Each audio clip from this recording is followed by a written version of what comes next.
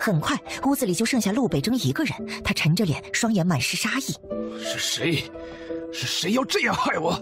这臭味分明和母亲说话时嘴巴散发出来的臭味是一样的。想着想着，他自己也忍不住开始呕吐了。前来观礼的人全都跑了。高玉清的脸色阴沉的可怕，咬牙说：“去查，去查清楚，到底谁给侯爷吃了不该吃的东西。”他期盼了这么多年的婚礼，居然被人毁了。想到这里，他气哭了。推本郡主回院子，还要派人盯着嫁妆，绝对不能让莫如雅那个贱人碰一下。玉离站在不远处，全程目睹了今天这荒唐的一幕，然后和小丫鬟们都回去守着嫁妆了。他心里明白，今天晚上陆北征绝对不会出现在婚房，所以晚上除了高玉清的院子，别的地方都会风平浪静。当然，高玉清的库房除外，金银珠宝、古董字画、孤本方子、珍贵药材，一箱子的银票，还有很多绫罗绸缎、上好的锦布。他毫不客气，把这些东西都收进空间里。高玉清数次想要弄死原主，玉离什么都没留给他。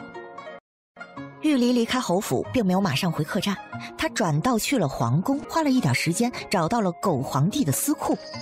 外面有人在把守，暗中也有人在盯着。他费了一点时间把暗中的人弄昏，然后才把外面的人也弄昏迷。四更天，玉离已经搬空了狗皇帝的库房。还在最大的库房里留下一行字：“无德者天难容。若因此事杀一人，户部库房也不用留。”